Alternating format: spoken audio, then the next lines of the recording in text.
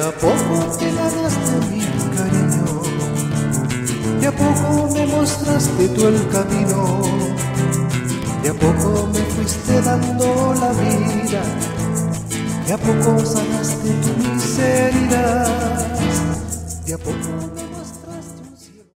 ¿No tenemos susto? No, pues, si estamos con Él, ¿quién contra nosotros? Dice, si estamos con el Señor, ¿quién puede algo contra nosotros? Nadie. Él es el que nos defiende, el que nos levanta, es el que está ahí, porque nosotros le hemos dado y le hemos permitido hacerlo. Así que, hermanitos queridos, veamos hoy día. Esto es lo que nos da la fuerza, esto es lo que nos da la luz, esto es lo que nos va ayudando a ayudar. Y importantísimo, ¿te dejas ayudar? ¿Nos dejamos ayudar? Porque a nosotros nos gusta, sí, mira, tú estás mal, mira, esto no puede ser, hoy yo sé. Perfecto, pero no con ese tono, ¿ah? sino con una ayuda fraterna, en el amor del Señor, con amor, con paciencia. Pero cuando vienen a ti, cuando vienen a mí, no, no, no, no, ¿y tú quién eres? Mira todo lo que tú haces y vienes tú a decirme algo a mí. Todo lo contrario. Gracias. Gracias Señor por mandarme esa persona. Gracias porque me vas corrigiendo. Y sí, y darse cuenta que uno comete errores.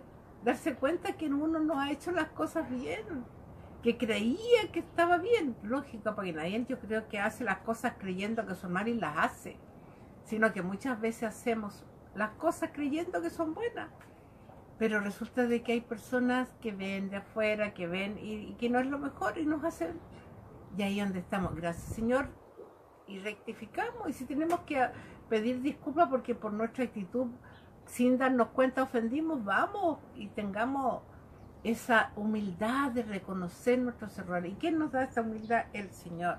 En esta palabra, en este Pedro maravilloso. Por ahí me decían que nunca habían leído a Pedro, que ni sabían que existía. Qué gracia y qué cosa más linda como no, nos tira la orejita, decía cada rato nos hace ver las cosas tan simples. Bueno, ahí está la Biblia, hermano querido. Ahí está, que tengamos todos los días un ratito y vamos viendo cómo nos vamos alimentando y cómo nos vamos fortaleciendo.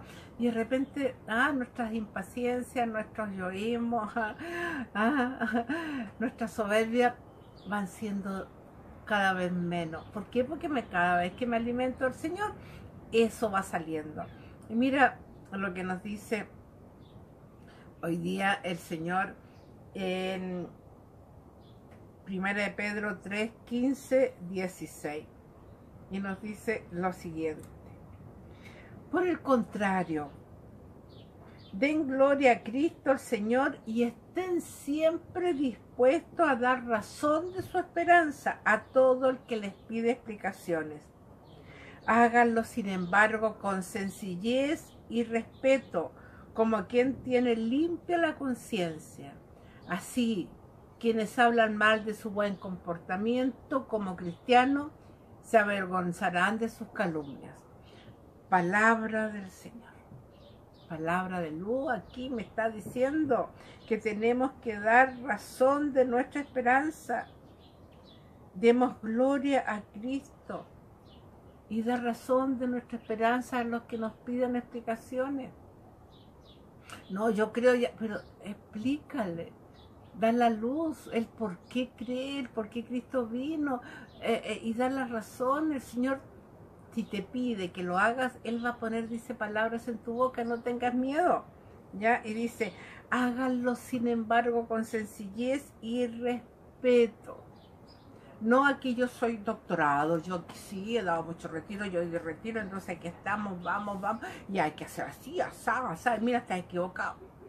Con sencillez, con humildad, respetando, que muchas veces nosotros nos impacientamos con los demás, porque cómo es posible que vayan por ese camino y no crean, y mira cómo es posible. Bueno, y tú y yo no partimos de cero. Nosotros también en este camino que vamos al Señor podemos saber un poquito más, podemos entender un poquito más las cosas. Por lo tanto, no debemos impacientarnos con lo que se demora, porque tú y yo también estuvimos en ese camino y alguien nos tuvo paciencia. Así que digámosle, Señor, dame esa luz que necesito para dar razón de mi esperanza, para dar razón de que tú eres el camino, la verdad y la vida.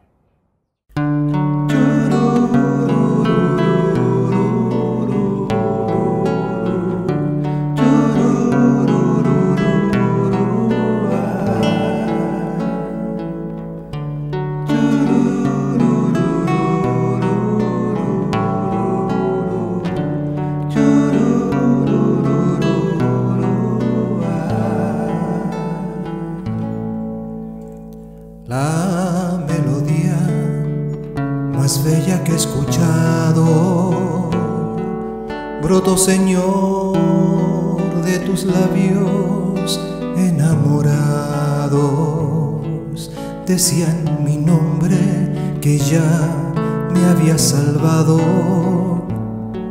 que en esa cruz tu amor por mí ya habías dado. Estaré allí donde tú me lo pidas bendeciré a tu pueblo santo con mi vida. Te seguiré a donde quiera que tú vayas, con este canto enamorado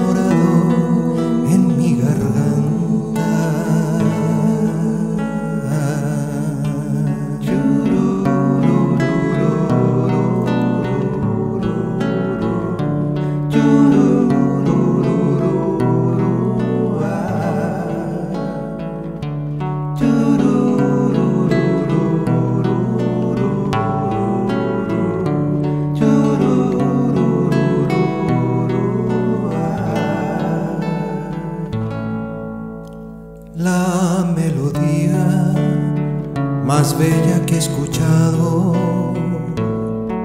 Broto desde mi corazón enamorado.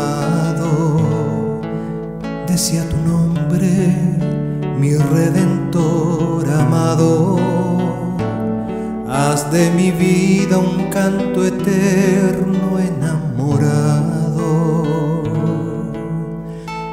Estaré allí donde tú me lo pidas. Bendeciré a tu pueblo santo con mi vida. Te seguiré a donde quiera que tú vayas con este canto